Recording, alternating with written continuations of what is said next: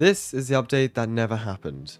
Back in 2019, the PRC group was a lot smaller, with only 42,000 members and the game just having reached 10 million visits. At the time, in-game, there were three departments, Police, Sheriff, and Fire and Rescue. With any upcoming game, players were theorizing what could be coming next. On the group description, it states that they offer roleplay opportunities as police officers, sheriff's deputies, and state troopers. One or two developers then went to send these images of state highway patrol vehicles on the PRC Discord.